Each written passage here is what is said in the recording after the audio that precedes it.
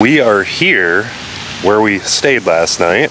Slept in this parking lot next to this beautiful fountain over here at the RV and Motor Home Hall of Fame. This thing goes not only out with slides, it goes up. This is a two-story rig. We actually got one of those slushies. It's supposed to be red, white, and blue, but we mixed it. Well,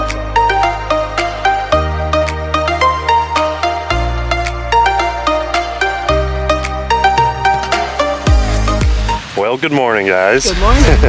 it's actually like a whole day's past. Uh, we drove up to Elkhart, Indiana, and if you're familiar with the RV industry, this is kind of home to many uh, manufacturers like Thor and Nexus and a bunch of other companies, uh, Grand Design, I believe too. But we are here where we stayed last night.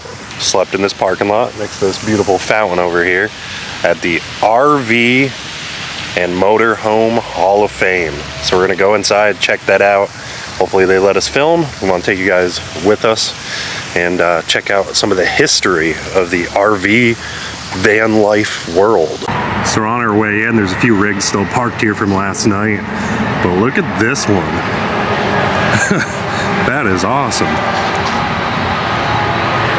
that is a Philadelphia Eagles decked out rig. Pretty awesome. We're in. The place is pretty big, but we're gonna start kind of in the modern rig here. I'm not really gonna show you much of this. You guys seen all the modern rigs, but we're gonna get over to the history and show you guys that. So we lied. we said we weren't gonna show you a modern rig. This, I don't have words. This is insane. Did you guys notice right here? Look at this. There's stairs. I mean, you guys can see around me how amazing this is. Double oven, gigantic fridge, uh, biggest TV I've ever seen. in RV. But look at this. Look at This thing goes not only out with slides, it goes up. This is a two-story rig. We've seen this online. Yeah. Not this exact one, but the idea of this. You can see how it goes up. Yeah, I mean, because you can see like there's open space right here. Because this is a, uh, this is just obviously like a demo model, so you can see there's open space. Uh, so they're just showing like the possibilities of what the future is. But that is crazy. a shower with uh, every shower head you could ever think of on there. And then look at this shagging Wow. bedroom It it really is. It's like an 80s Mirror. bedroom. on the roof. but you could see like, because this is just like I said, just a demo. You know, here they have on display. Yep. This is something they're working on in the future. But look at these walls. This is insane. Well, there's modern for you, huh? Wow.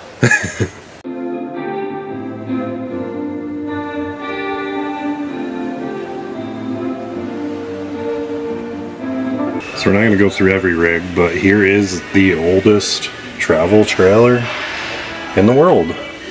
The Earl Travel Trailer and Model Ford Model T Ford.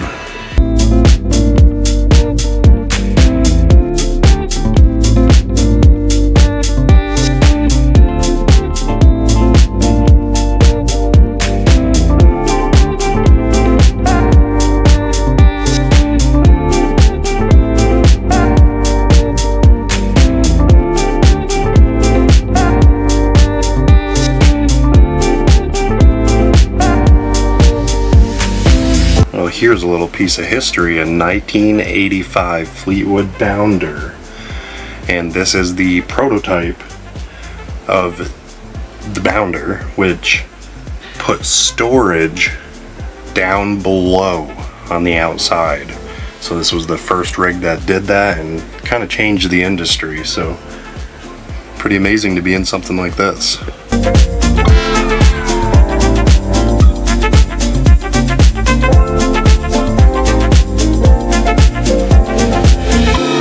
So if y'all are familiar with Keep Your Daydream, this is the Bluebird bus that they donated here to the Hall of Fame. So let's check it out.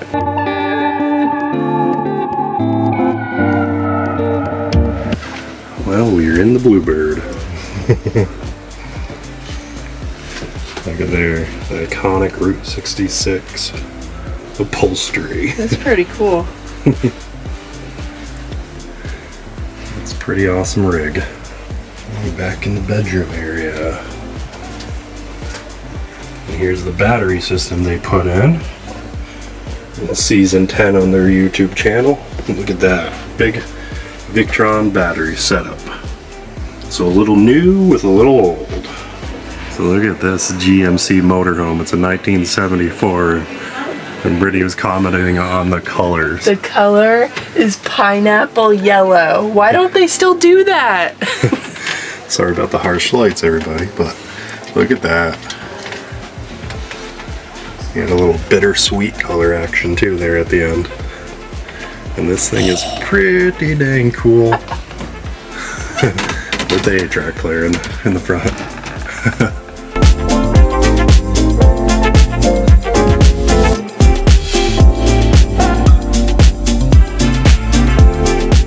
Well, we finished up at the museum. It was really cool. So if you're ever coming through Elkhart uh, to get some service, if you have, you know, go right to the factory to one of the manufacturers or just passing through in your rig, uh, they are members of Harvest Host, but I believe you don't even have to be Harvest Host to stay here. Uh, you could stay for free overnight, check out the museum, support them for letting you crash for the night. And they do have hookups too. I think it's 40 bucks uh, for full hookups if you if you need them. But really uh, recommend if you have an RV, swinging through and checking it out because it is really cool seeing the history. On that note, though, we have no idea what we are doing. We literally have no game plan except we're headed to Vermont, and we have plenty of time. So we're gonna figure that out, and we'll see you guys shortly when we, I don't know, come up with some kind of plan where we're going, where we're staying. Holiday weekend, so I don't know. Well, we think we came up with a game plan. Of course, we had to stop, get a little bit Starbucks refresher because we had to get Brittany's Starbucks mug.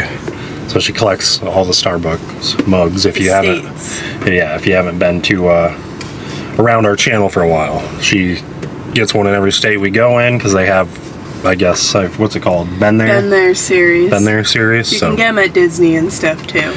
so we uh, figured out our game plan. We're going into Ohio and we're going to American Winery and Brewery. So we got a couple hour drive.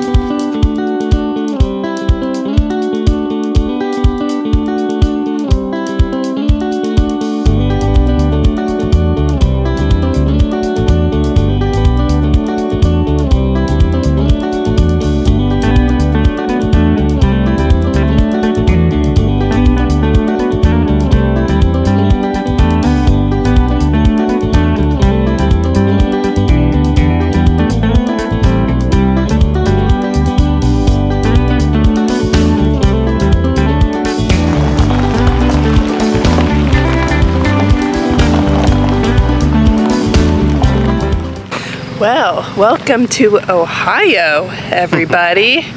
we ended up at a Harvest Host only about two hours from where we were, and it is called American Winery and Brewery. And boy, does it look pretty cool here, so let's check it out.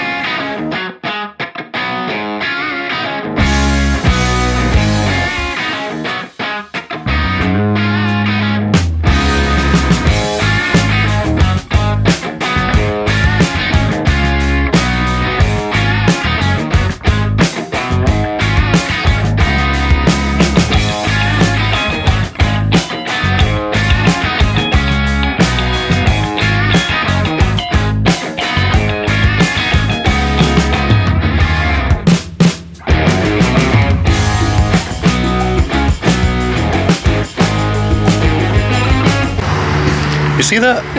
Do you see that? I might have to try one of the red, white, and blue wine slushies.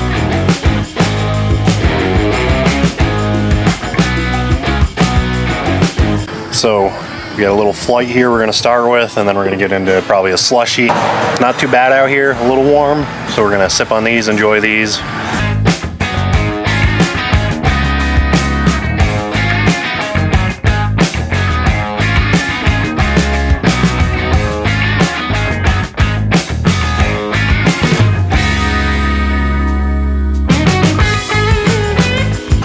Tried a bunch of different wines. They all have really good fruit flavors. And we tried three sangrias, which obviously are wine, but phenomenal. So good. It's gonna be an expensive harvest host because there's some really good stuff here.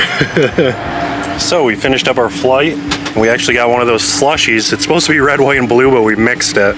Uh, so I'll probably just throw a picture here so you guys can see what it looked like. Uh, this place is really awesome, very patriotic, awesome owners.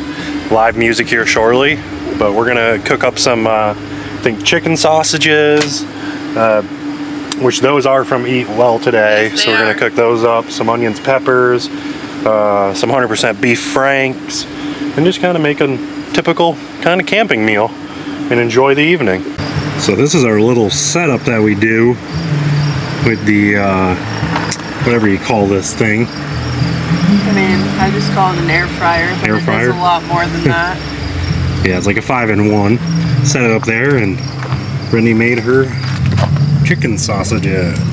So along our travels east, Brittany's been looking for a fair and the owner in here told us that there is a fair that started today a mile down the road and it's actually the biggest fair in the whole Ohio region. So we got pretty lucky. So tomorrow morning we were gonna go check that out. I probably won't take you guys with us to that. Um, and then we're gonna hit the road and continue heading east.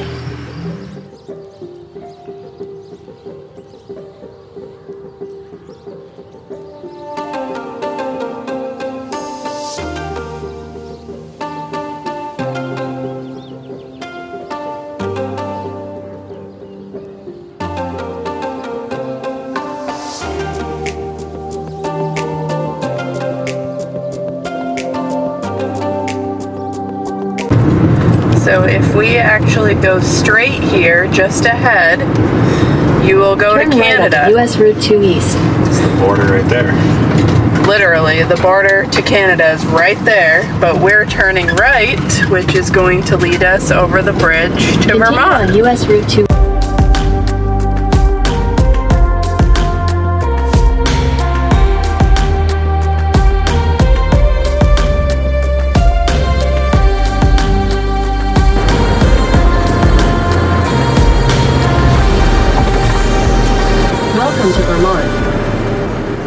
about to leave.